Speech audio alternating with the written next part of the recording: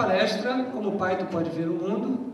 Meu nome é John Edson Ribeiro Carvalho, mestre em computação pela Universidade Federal Fluminense, com ênfase na área de computação visual e interface. A nossa palestra quer mostrar um pouquinho de algum, algumas ferramentas é, em Python para o processo de visão computacional. Então a gente começa aí, né, primeiro só destacando a Universidade Gama Filho, é, diretor acadêmico da PIB 2000 e 2011 e membro aí, fundador aí da Python Rio.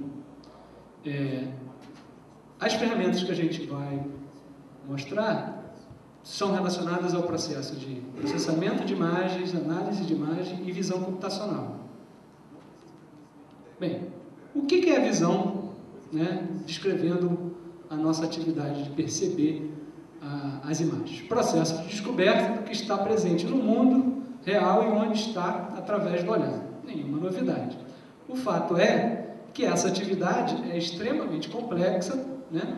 apontando aí porque a gente tem em torno de 25% de todo o cérebro é voltado para esse processo de visão.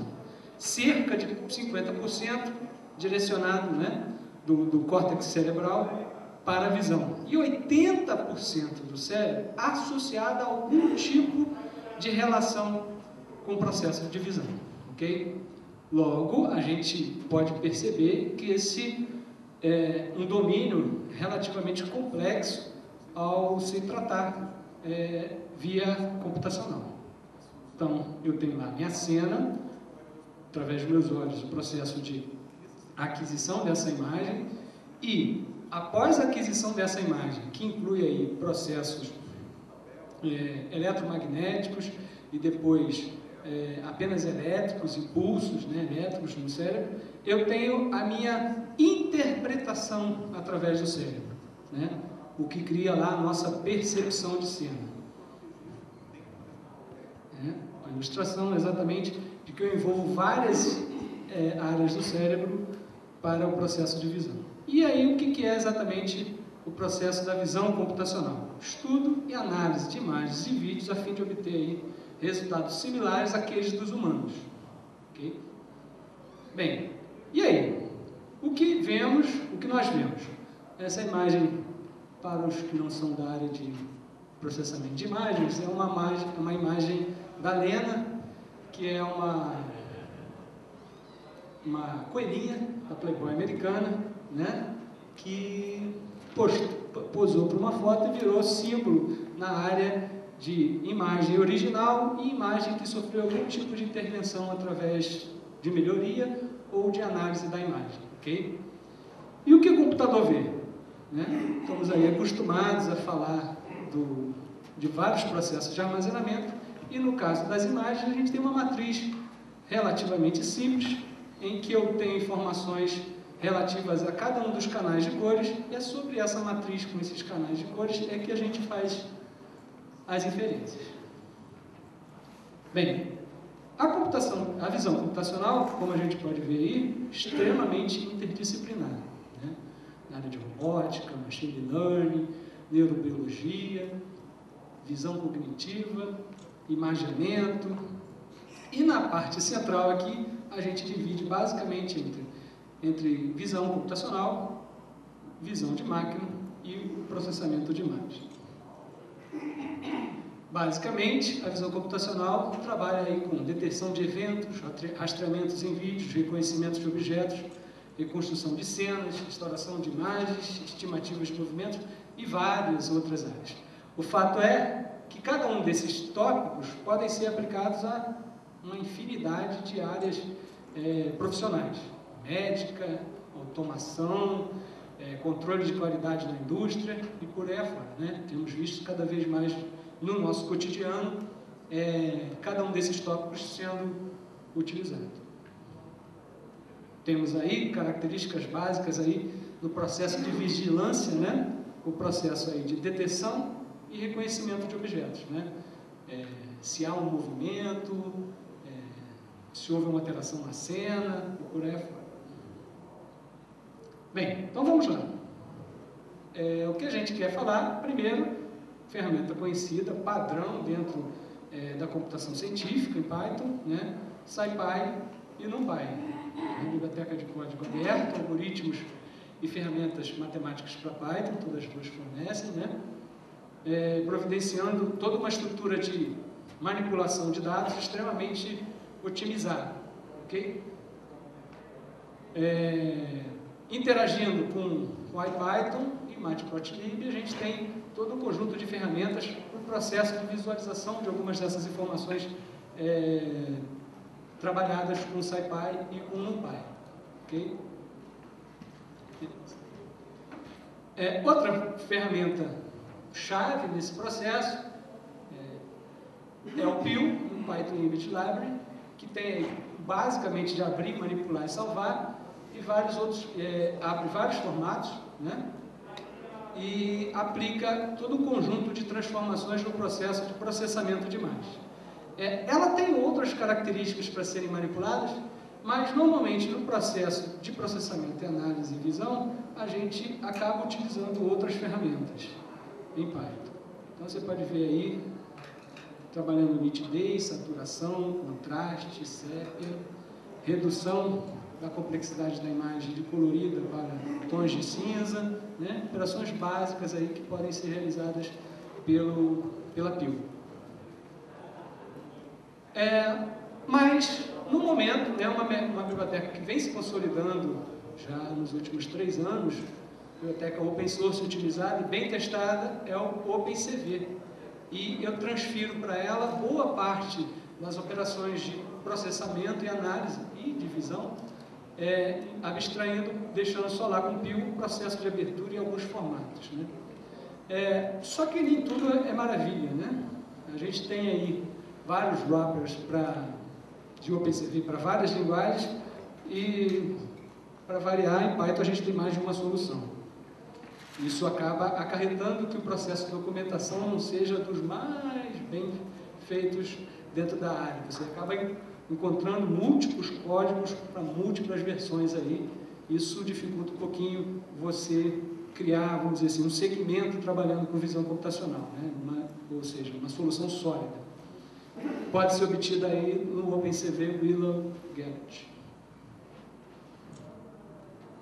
Outra ferramenta bastante interessante, e agora não apenas trabalhando com processo e análise, mas também com a vertente ali V, é o ITK e o VTK. Quantos conhecem aí o ITK e o VTK?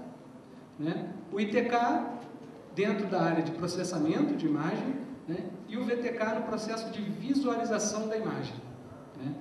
É, processo de mostrar ou trabalhar com a imagem é, processada.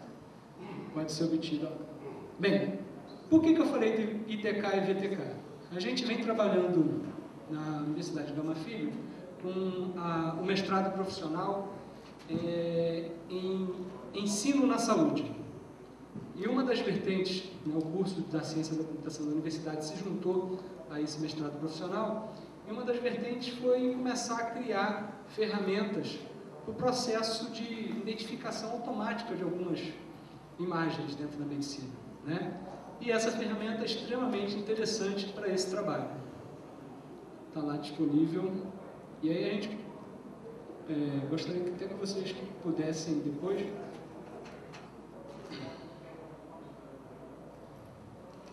visualizar é, o site e vocês vão ver uma documentação extremamente extensa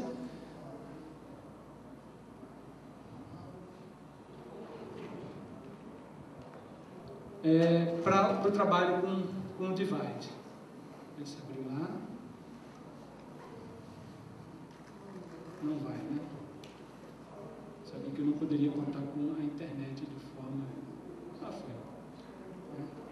Se você visualizar aqui, eu tenho vários demonstrativos na, na página do projeto, com o processo tanto de processamento quanto de visualização da imagem. John, por que a decisão de usar uma ferramenta dessa? Isso vai além, por exemplo, do uso das ferramentas tradicionais de criação de sistema de informação. Mas o intuito era ter um background de Python mas ter uma interface que, após ensinar alguns conceitos de manipulação de imagens e de técnicas de, imagem, de é, processamento e análise de imagem, permitir que um profissional da área de saúde pudesse entender o mecanismo de extrair algum tipo de informação da imagem médica. Ok? Então é uma ferramenta extremamente interessante porque, como vocês podem ver aqui, ó, eu tenho apenas fluxos organizando a forma com que eu parto de uma imagem, faço um determinado processamento, encaminho para uma outra técnica de processamento né, e vou exatamente com essas ligações podendo perceber os resultados nas imagens médicas. Ok? Bem, então o primeiro é o divide, extremamente bem interessante, por ter uma característica que é mais ou menos inerente a Python. Fácil prototipação, né? aproxima o profissional que não é um programador, que não é um, um, um elemento da área da ciência da computação, a se interessar pela, pelo processo né? e, num segundo instante, até mesmo, em função da ferramenta ser extremamente simples, é, poder produzir código. Né? Tudo isso com Python e usando o que a gente tinha acabado de apresentar anteriormente, as bibliotecas ITK e VTK. Ok? Outra ferramenta extremamente interessante, também aplicada lá no mestrado profissional de ensino de saúde, é o MIVIS Lab, com o mesmo processo de identificação de estruturas básicas, ou seja, características inerentes ao processo de processamento e visualização de imagens médicas. Também tem um site extremamente bem documentado, né? vale a pena a visita. É, as duas ferramentas com versões para Windows, Linux e Mac, sem nenhuma dificuldade. Os projetos são muito bem feitinhos e é, permitindo que esse usuário, né, com pouco conhecimento computacional, possa fazer as primeiras inferências nas imagens médicas.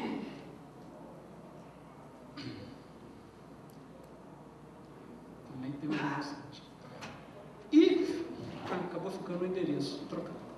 E o Simples CV, o endereço é simplecv.org, é, é uma solução é, que está tentando resolver os problemas que a gente mencionou é, relacionado ao OpenCV, de terem vários, vários bailes, para que um usuário é, inicial, de novo, sempre a preocupação é, que eu quero me referir aqui, é o do usuário inicial que não é militante na, na ciência da computação. Por quê? Porque eu quero incluir ele nesse, nessa tecnologia. Né? A gente tem uma demanda no, no mercado extremamente nas universidades de profissionais da engenharia, da medicina, da educação física, em começar a trabalhar nesse domínio da imagem e eu oferecer um conjunto de facilidades. Né? Aquilo que a gente sempre prega em Python, de eu ter uma curva de aprendizagem extremamente suave. Okay? E vocês podem ver nesse site, com, lá nos exemplos, mecanismo de sempre extremamente simples, como a gente normalmente visualiza, não foi o site mas você pode ver aqui, né?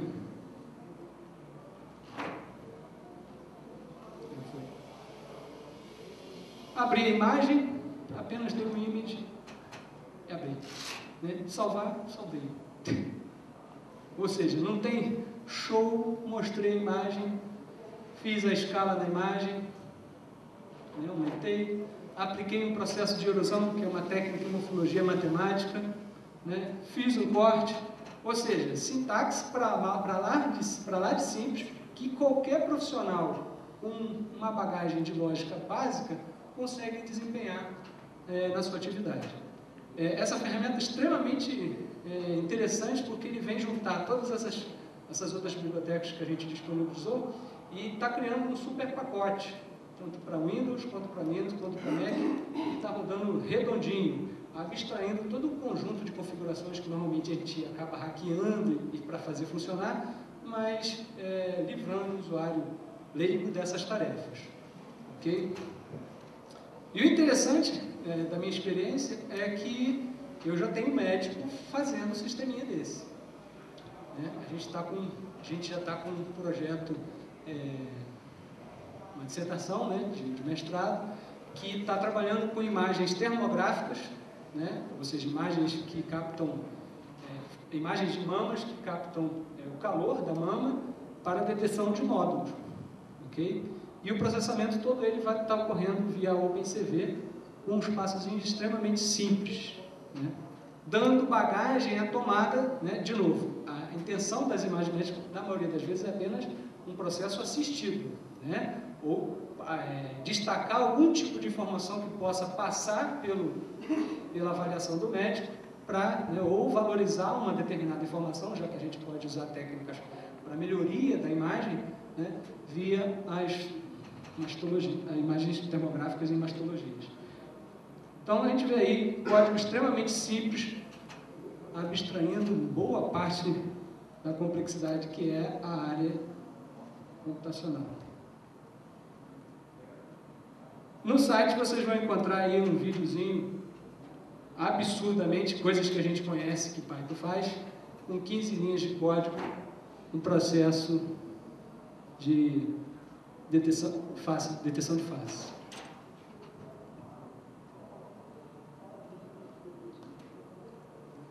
De novo, destacando o conteúdo didático desse, desse material, ele passa, né, o passo a passo exatamente para fazer a operação lá. Ah, John, mas quem fornece esse processo? O OpenCV. É por isso que eu tenho um baile relativamente simples e faço a operação toda lá com muita facilidade. Conhecimento que até 10 anos atrás né, precisava de muitas linhas de código, está aí o código demonstrado, ridiculamente simples.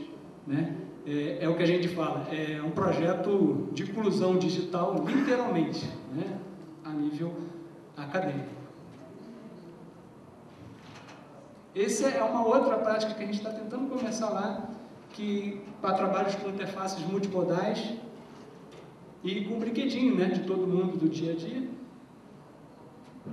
Kinetic, e eu já posso fazer algumas inserções dentro do meu, da minha aplicação usando o Kinetic que está no alto, no início do vídeo mostrou, e o processo do OpenCV, que já está com suporte ao Kinetic.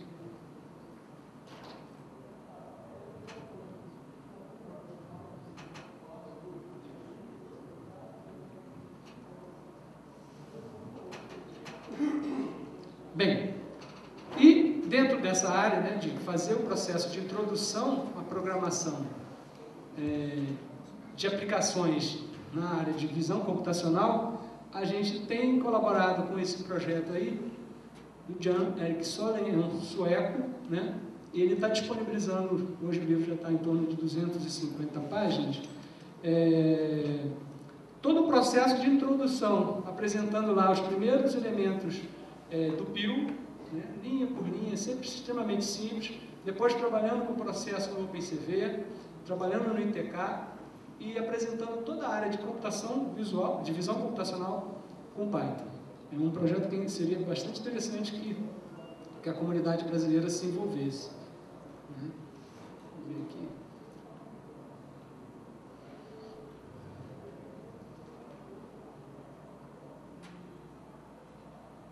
Para eu fazer a demonstração dele.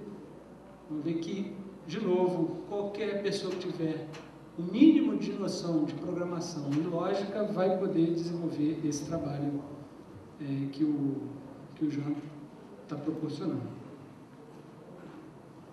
Bem, como eu falei, alguns elementos que a gente vem trabalhando é, na área de visão, é, visão computacional. No, no ano passado, na, na Python Brasil, a gente a gente apresentou aí com Tiago Malheiros jogos de cartas colecionais com realidade aumentada.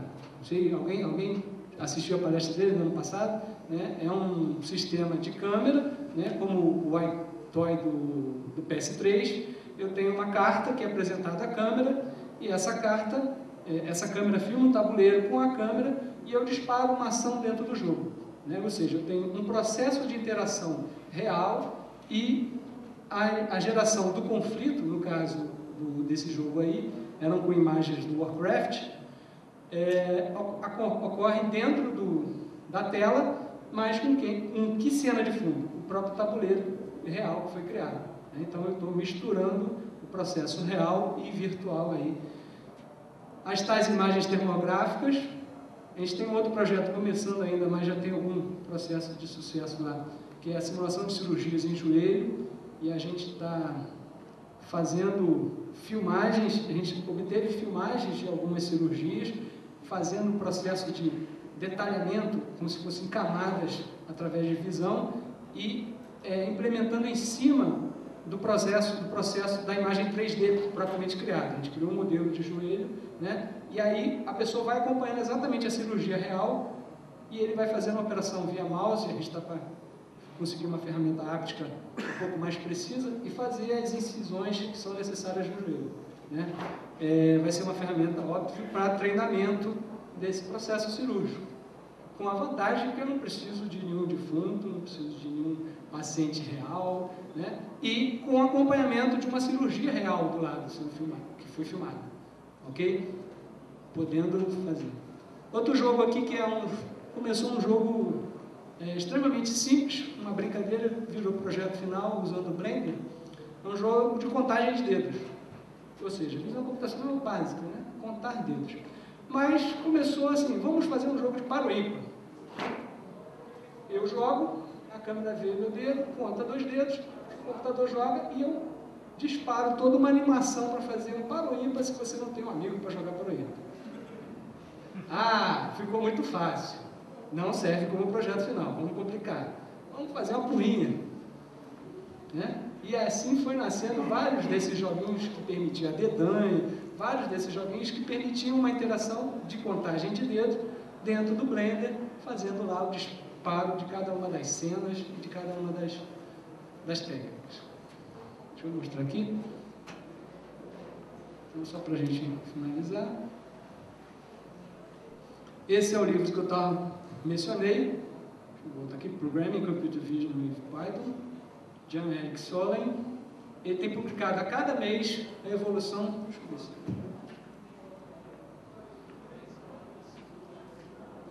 Né? Então ele começa lá com o processo de Basic Image Handling, Local Image Scriptors, mapeamento de imagens, é uma outra área que a gente trabalha dentro da área de realidade virtual, modelos de câmera e realidade aumentada, múltiplo, múltiplo view geometry, que está relacionado ao processo de uso de vários projetores de uma cena, e ao invés de eu sair configurando esses projetores mecanicamente, ou seja, eu tenho normalmente para grandes imagens projetadas, eu tenho 8, 10, 12, 32 projetores, ao invés de eu sair no processo quase budista de calibração de cada um desses projetores, eu faço através de captura da minha cena projetada por cada projetor, né, eu faço o ajuste do limite é, da área de visualização de cada um deles, fazendo com que uma imagem sobreposta de projetores seja corrigida né, e eu tenha exatamente a criação de um grande retângulo onde vai ser construído o mosaico. Isso todo o processo via visão, ou seja, eu detecto a borda de cada um das imagens projetadas e faço o ajuste dessas técnicas. Ele mostra um pouquinho desse processo aí, clusterização de imagens, ou seja, várias áreas né, envolvendo o processo, vamos dizer assim, de inclusão digital de Python, usando Python para visão computacional. Acho que é um projeto bem interessante mesmo, os que não estão é, trabalhando com visão computacional, de darem uma estudada e avaliada, material extremamente rico e oferecer colaboração. O cara é extremamente solícito às dúvidas que surgiram e acho que vale a pena para a comunidade participar desse projeto. Ok?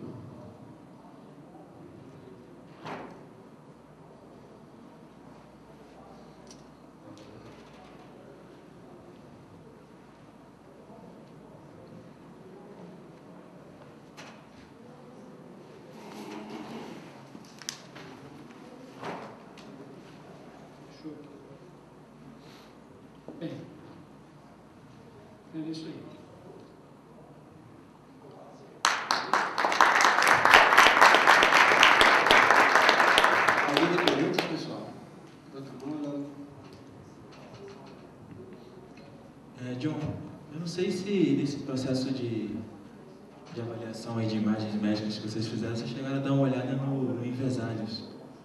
E se ele tem alguma interseção com esses projetos que vocês estão fazendo lá na, na Gama Filho, ou se ele trata de outro assunto, assim, eu não conheço a ferramenta. Bem, é, todos conhecem os Vesados? Não? Ninguém conhece? É, a autora está aí no, no, corredor, vocês podem conversar mais especificamente. Palestra às 12h30 na sala do lado. Isso, né? A Tati, que trabalha na Globo.com, você pode perguntar diretamente lá nuances específicas do Vesados. O fato é que a, área de atuação lá é um processo de reconstrução de imagens a partir de tomografias computadorizadas. Então, lá se recria um processo da imagem 3D, ok? Não tem a ver com o processo de visão computacional. Mas a gente tem um trabalho que está começando agora, exatamente para mais estudar modelos matemáticos de como melhor, ou como, de como construir e otimizar o processo de visualização dessas ferramentas, usando adversários e algumas técnicas em Python, mas não tem especificamente a ver com com visão computacional. Tem sim, as imagens de tomografia podem ser trabalhadas no processo de visão. Mas eu até acredito que no software público eles começaram algumas atividades é, relacionadas à visão computacional, mas eu não sei a quanto anda essa, essa área no inventário. Mais alguma pergunta?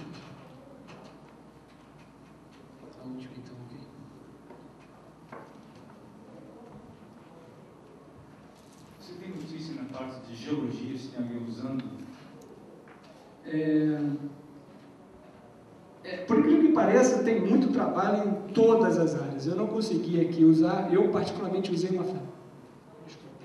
uma ferramenta chamada PyMorph, do professor Roberto Lotufo e do Daltert, é, lá na Unicamp, né? e tem alguns trabalhos dentro da área de geologia. Okay? Mas eu não, não conheço os trabalhos específicos não. Mas a PyMorph trabalha com, eles têm um livro né, de hands-on com morfologia matemática usando Python, é um livro já de já está indo fazendo 10 anos já no mercado e boa parte do processo lá ele faz ilustração com, na parte de geologia. Uma consulta interessante, daqui de perto. Né? O professor Roberto Lotufo é extremamente acessível também. Inclusive, ele tem um sistema de é, atividade científica chamado Adesso Wiki, que é, vai desde o processo de documentação e codificação à, geração do paper. Todo ele feito em Plone, Python, uma solução extremamente fechada, muito interessante também, acho que vale a pena a visita, conhecer o mega projeto desse Adesso Wiki. Projeto da Unicamp. Mais alguém? Ok, salva de palmas então.